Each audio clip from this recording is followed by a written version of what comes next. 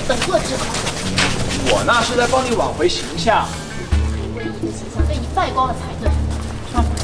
就是因为那个魏毅的形象，你弟弟迅风才不喜欢你的。不需要任何人喜欢。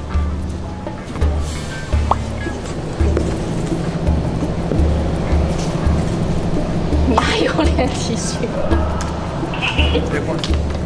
要要演下去吗？演下去吗？演不下去，我给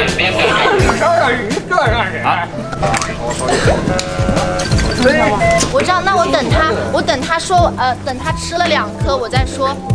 你还有脸去飓风？那这样显得东方青苍反应太迟钝了。他是一句话讲。没事没事，我的问题啊，一会儿我绝对塞两颗进去，不用管我啊，我自己抢也得抢两颗进去。我抢得快吧？我刚刚你 已经抢好了，而且都喝错了哈，第二轮捡起来了。